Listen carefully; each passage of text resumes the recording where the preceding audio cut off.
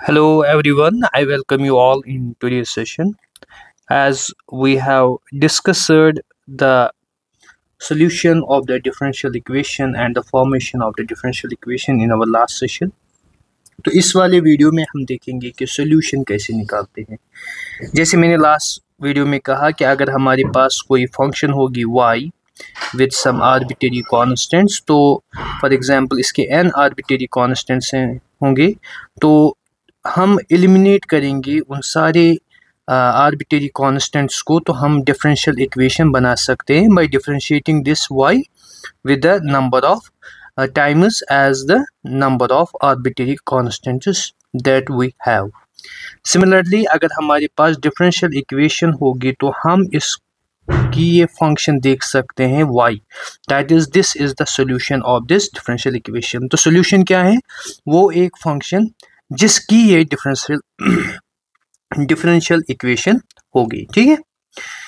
तो अब सारे डिफरेंशियल इक्वेशंस सॉल्वेबल है कि नहीं है?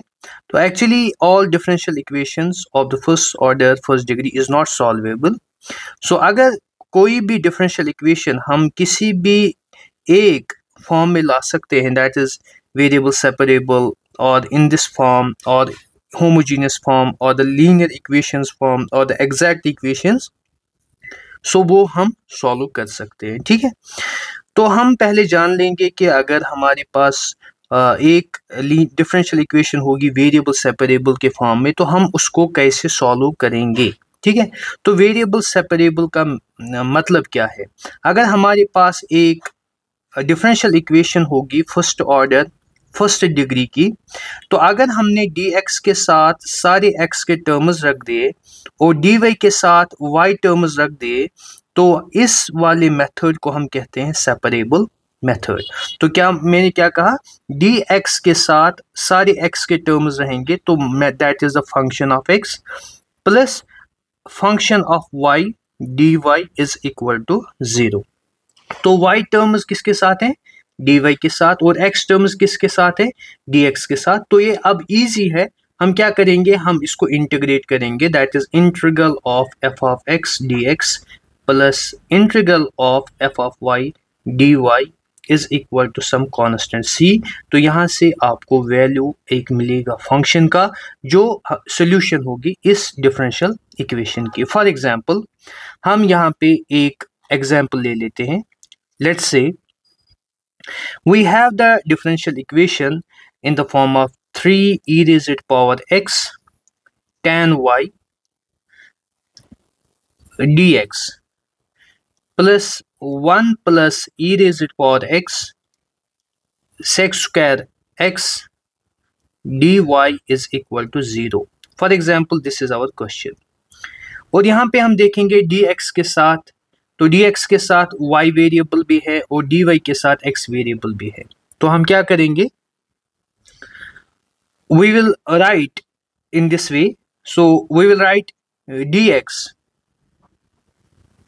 और directly three e raised power x tan y is equal to minus 1 plus e raised power x sec square y dy isn't I took this one on the RHS so divide this okay on the both sides or take it on the LHS and this tan y on the RHS so we will get 3 e raised to the power x 1 plus e raised to the power x dx is equal to minus that is secant square y divided by tan y dy.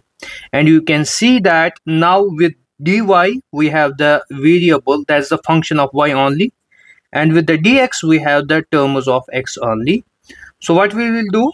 We will write it 3 e raised power x 1 plus e raised power x dx plus secant square y tan y dy is equal to 0 now as it is now in as a variable separable we will integrate it. So integral 3 e raised to power x 1 plus e raised to power x dx plus integral secant square y tan y dy is equal to 0 so it is very simple that if this is the t and there is the derivative of this t so here if this is the t that is differentiation of tan y is secant square y. So it will be equal to 3 log of 1 plus e raised to the power x plus here you have the differentiation of tan. So if you will consider this as a t so there is a differentiation. So it will be the log of tan of y is equal to c. So it will be equal to log of 1 plus e raised to the power x whole cube plus log tan of y is some constant c so now this is log a plus log b. So it will be equal to log of 1 plus e raised to power x whole cube into tan of y is equal to log of c. Okay here you can take directly as a log. That's the constant here. Okay. So in this way we can say that 1 plus e raised to power x whole cube tan y is equal to c this is the general solution of the given differential equation that's this okay so this is the function और इसकी जो differential equation रहेगी वो ये है ठीक है so this is the way how we are solving the variable separable linear first order first degree differential equation uh, okay you have to note it here that if you have the any function that is function of x function of y uh, dx plus the function of x function of y dy is equal to 0 means the same function of x the same function in the y the same function that is in the x here is here. The same function in the y. So you can convert it or you can reduce it into the variable separable form. So by dividing f2 of x because here in the x we need only f1 of x and here in the dy we need only the variable of y. So we have this one as extra and this one as extra so what we will do we will divide f2 of y and f2 of x throughout this. So when you will divide this throughout that is f2 of y f2 of x here you will divide f2 of y f2 of x. So you will get here f1 of x divided by f2 of x dx plus f1 of y divided by f2 of y dy is equal to 0 okay so now this is the your another function that's only in the that's only in the x and this is another function that's only in y. So you will denote it f of x dx plus f of y dy is equal to 0 now this is again as a variable separable. Okay so this is the way how we are solving the variable separable linear differential equation. Similarly you can try another uh, example. I just write it here. Please solve this. So if you have to solve that x cos of x cos of y plus sine y dy by d of x is equal to 0 if you have to solve this so try to make it as a variable separable because with the y you have the sine y here. So what will you do? So take this on the RHS. So you will write x cos x cos y is equal to minus sine y dy by d of x. Take the d of x as on the LHS. So you will get x cos x dx. Take this term on the RHS.